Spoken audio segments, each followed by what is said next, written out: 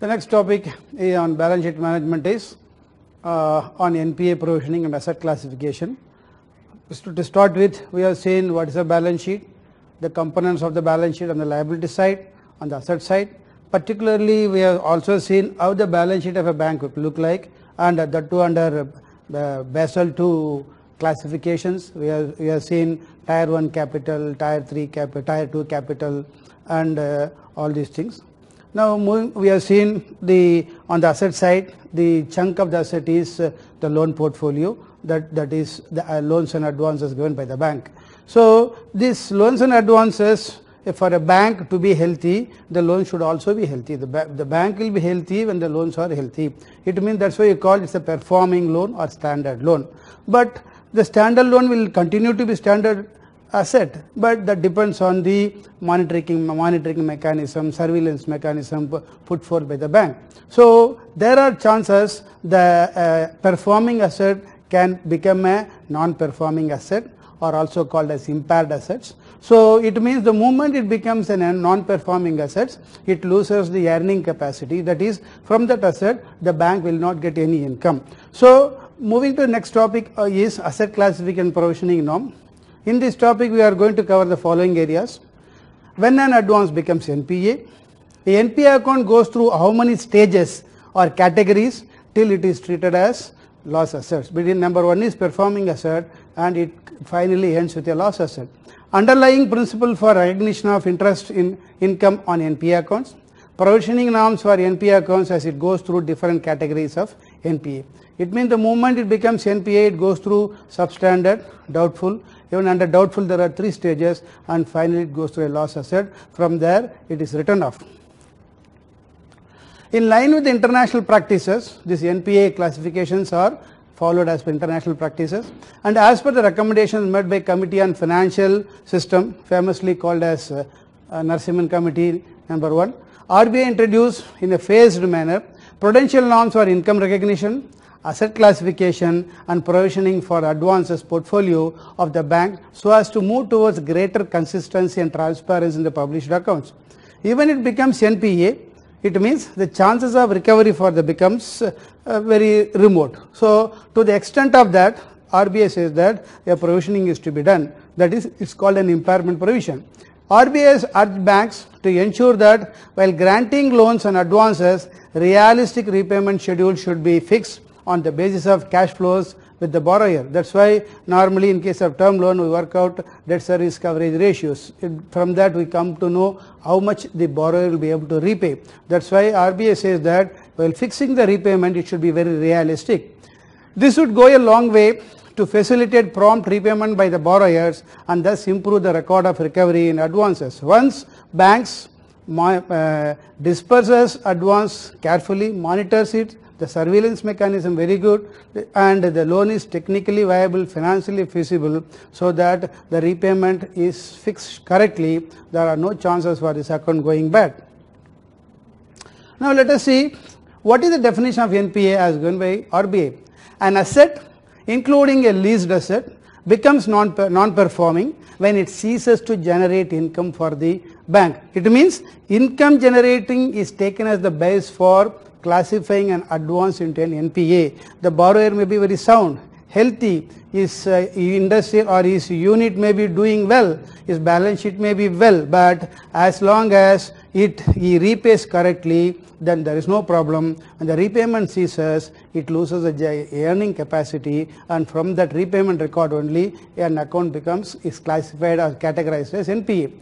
Bank sanctions different types of credit facilities to the borrowers. It can be fund-based fund-based facility, it can be non-fund-based facility. Even in fund-based facility, it can be term loan or it can be cash credit. And let us see how these different credit facilities become NPA. So we are going to see the circumstances under which the every credit there are different types of credit facilities, how it becomes NPA. Let us now take the case of first term loan which is supposed to be in term loan. Most of the fixed assets are financed by term loans. So in case of term loans, interest and our installment of principal or EMI, the EMI to start with, the EMI, the components of EMI are principal and interest when the uh, initially when the repayment starts, the interest quotient or interest portion will be very high, the principal portion will be very less. As he, he, the borrower keeps on repaying regularly toward the end, the principal quotient becomes very high, the interest quotient becomes very less. So in case of term loans, interest and or installments of principal EMI remains overdue for a period of more than 90 days in respect of a term loan. So, a bank wait for 90 days if the if the EMI or the interest or the principal which was to come the bank waits for 90 days on the 91st day for non-receipt of the small installment the entire term loan becomes uh, NPA. It means let us think that the term loan is 500 crores and the EMI is only 5 crores. For non-receipt of this 5 crores, the bank waits for 90 days. On the 91st day, for not servicing of this 5 crore, the entire big amount of term loan 500 crores or 100 crores, it becomes NPA. The basic reasoning is that when the borrower is not able to service 5 crores, will he be able to service 500 crores, 100 crores of the term loan? So, on the 91st day, the entire term loan is treated as NPA. Let us move on to term loans or uh, a funded facility which is repaid over a period of time. Then there are facilities like as cash credit, secured overdraft which revolves around a limit. So the, that's why they are called as revolving funded facilities. The accounts remain out of order as explained in the subsequent slides in respect of an overdraft or cash credit facilities. It means here the over, the NPA category is classified basically based on when the account becomes out of order. The moment it becomes out of order, then these facilities such as cash credit, pledge, hypothecation or secured overdraft, this turn into an NPA. So we have seen term loan, we have seen cash credit. Let us move on to the next credit facility type, uh, type of facilities, bills account. Bills are self-liquidating assets. The bill remains overdue for a period of more than 90 days in case of bills purchased and discounted.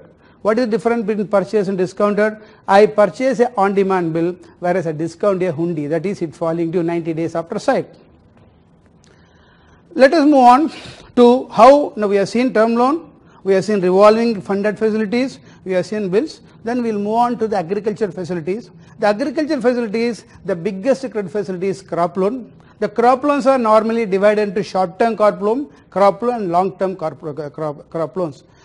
Short-term crop loans are normally repaid within a year, whereas long-term crop, crop loans, they are repaid beyond a year. So there is subtle difference between these two uh, when, when categorizing the NPA.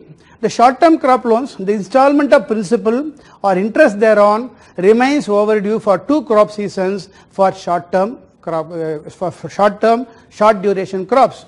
Migrating long-term crop, uh, crop loans, the installment of principal or interest thereon remains overdue for one crop season for long duration crops. So it is in case of short term it is two crop season, in case of long term it is only one crop season. So let us move on to next facility is called securitization facility. This is a facility which has been massively misused in the recent global crisis.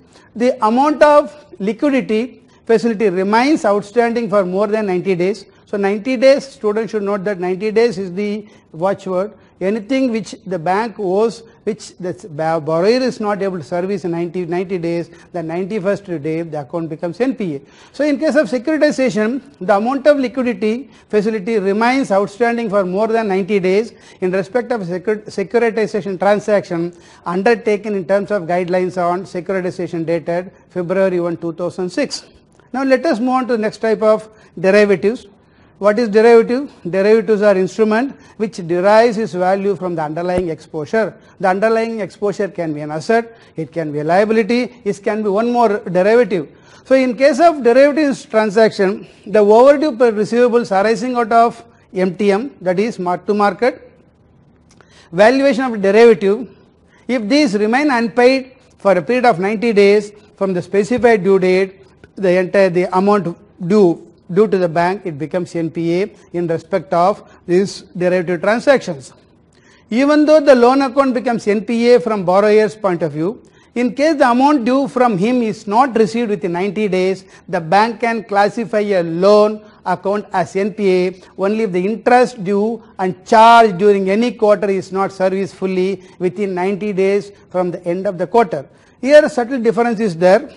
From the borrower point of view, the 90th day, some sum of money has to come.